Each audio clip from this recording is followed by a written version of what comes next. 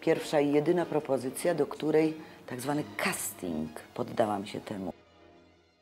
Ponieważ okazało się, że pani mm, Kuncewiczowa nie zna aktorek, nie orientuje się ani jakie są, ani w ich możliwościach. No a ponieważ gra była warta świeczki, więc e, ja i jeszcze kilka koleżanek zostałyśmy w kasetach wywiezione do Kazimierza. Pani Maria obejrzała to i powiedziała, o ta. No tak, ona ma nos babci Róży. Patrz, to jest. To jest moja fotografia z tamtych lat, z lat Michała. Diese Nase. Diese wunderschöne Nase. Y, Kasia Chrzanowska miała troszkę inny nos niż ja, ale układ oczu, sposób patrzenia był szalenie podobny. Jedynym warunkiem moim, wręcz dość kategorycznym, było to, żebym ja całą postać podkładała.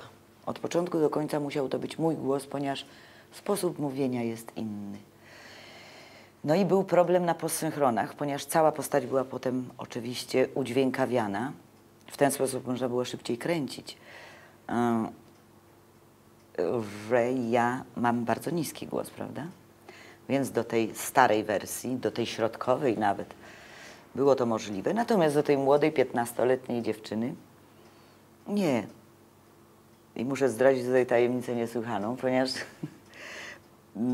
na posynchrony przyjechałam i pierwszą kwestią, którą miałam powiedzieć, na próbę zresztą, y, dla reżysera było papoczka, kup mi skrzypkę. Godzina dziewiąta rano, ja jeszcze niższy głos mam, bo niekiedy przez telefon do mnie mówią, proszę pana. E, powiedziałam, papoczka, kup mi skrzypkę. Reżyser się załamał. Powiedział, nie, nie, nie, Ewka, nie, to jest niemożliwe, ty nie możesz tego podkładać. To jest wykluczone. Ja mówię, nie, to jest możliwe. Tylko ja poproszę, żeby mi kupiono wiśniówkę słodką do studia. I ja będę sobie w kieliszeczku miała to na struny, takimi łyczkami. Oczywiście pod koniec już nagrań byłam lekko, e, że tak powiem, z głową kręcącą się, ale głos mi się podwyższył i wszystko było dobrze, także nie raziło to potem. Papuczka, kup mi skrzypkę. Nic ja robić nie chcę, tylko być im violinist celebr. A jak nie, to umrę. Ani to wileński, ani to lwowski akcent był. Więc cały problem polegał na tym, że właściwie nie było wiadomo dokładnie, jak to ma wyglądać. I trzeba trafił, że mm, ekspert od militariów w tymże filmie pochodził z tamtych ziem. I nie wiedząc, on o tym nie wiedział, ale ja bardzo nie wiedział tylko, dlaczego ja ciągle koło niego jestem. A ja chciałam się osłuchać, ponieważ jestem osobą muzykalną, e, więc chciałam się osłuchać z tym akcentem, żeby po prostu go wchłonąć. I potem ucząc się tekstu, już się uczyłam w ten sposób mówić. A, a jak tam gardło? A, chrypka przeszła. To dobrze. To dobrze. Słuchaj, więc jutro bądź koniecznie. O 12. Jednocześnie w teatrze byłam w repertuarze w Ateneum, między innymi w Cydzie. A w tłumaczeniu Morstina staropolskim językiem, także jakby aparat mowny najpierw miałam ściśnięty, bo przecież mówiłam z akcentem, a potem musiałam sobie na wieczór rozciągać to w przeciwnym kierunku, żeby z kolei dać radę zagrać infantkę. Miałam przygodę z tą starą skórą tak zwaną, ponieważ byłam bardzo długo i mozolnie najpierw rozciągana, klejem jakimś smarowana, po czym ściągana, charakteryzacja na to szara, żeby mniej więcej y, zrobić tę kobietę na 80 lat, ponieważ różnica wieku była zbyt jakby nieuchwytna. Trzeba było ją postarzyć, żeby potem ona mogła maszerować przez te wszystkie swoje lata. No i dostałam straszliwego uczulenia od tejże skóry. Potem trzeba było dokręcać sceny również mnie starej przy stole. I pamiętam, że była śmieszna historia, ponieważ nie mogłam mieć już tej starej skóry. Więc wspaniała Iwonka Kamińska Porobiła mi wszystko na twarzy, narysowała wszystko, co trzeba i czego nie trzeba. I nie było żadnej różnicy w kamerze. Także był to majstersztyk. My przecież graliśmy starsze postaci w szkole specjalnie. Starców, staruszki, żeby się nauczyć chodzić, co przestaje działać, że na przykład y, nie funkcjonuje stopa, bo ona się już nie zgina, tylko się chodzi całymi nóżkami, jakby nie zginając też kolan. To są takie kuśtykania. Zresztą ja przy okazji y, cudzoziemki porobiłam sobie takie studia mm, w łazienkach.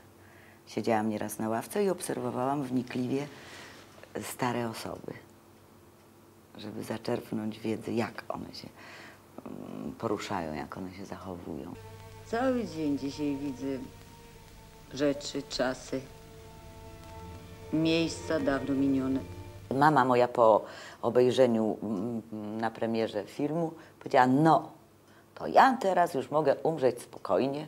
Oczywiście żyję i cieszę się świetnym zdrowiem, ale mogę spokojnie, bo wiem, jak będziesz wyglądała, jak będziesz stara.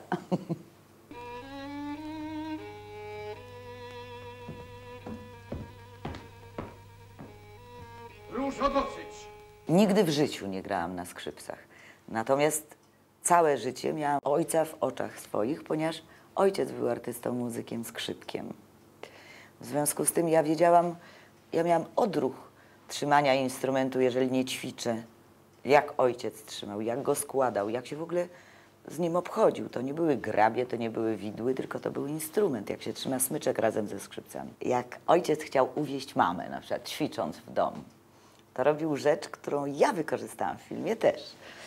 Ponieważ mając instrument, prawda, i grając tak, tutaj se grał, była mama, tak, grał, grał, grał i potem nagle przerzucał głowę. I to było takie uwodzicielskie. Bardzo mi się to podobało i zastosowałam to. Natomiast dźwięk wydawałam straszliwy, a mnie się wydawało, że ja puszczając podkład pana Krzysztofa Jakowicza wydobywam takie dźwięki. I nie słyszałam tego e, e, e, e, e, e, e, e.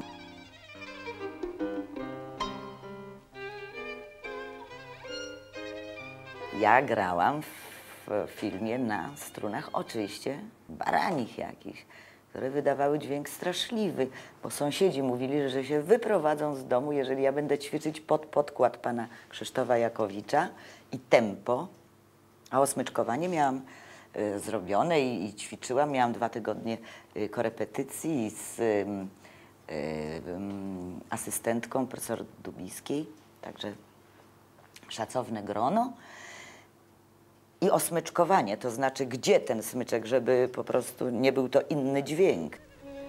Wierz mi, Marta, jednemu warto naprawdę życie poświęcić. Sztuce. Pamiętaj.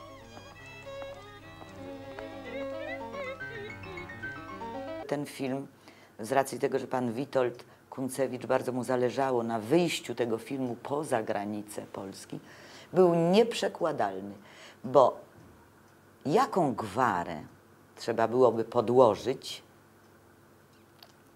w języku angielskim na przykład, czy we francuskim, czy we włoskim, co sycylijski nagle? No nie wiadomo co. Piemonckie. Nie wiadomo. Jak, żeby ludzie zrozumieli, na czym ta jej inność i właśnie to nieprzystosowanie się polega. Bo przecież nie tylko na tym, że ona o tym mówi, ale że jest inna i ludzie słyszą to. Do Warszawy przyjechałam, powiedzieli Moskiewka. Akcent kacapski. W Petersburgu warszawska barysznia. Zawsze i wszędzie tak cudzoziemka. To pokolenie teraz Europejczyków już nie będzie rozumiało tych zapór granic, tej inności tak bardzo, jak, jak wtedy, kiedy film był zrobiony nawet dla tego pokolenia.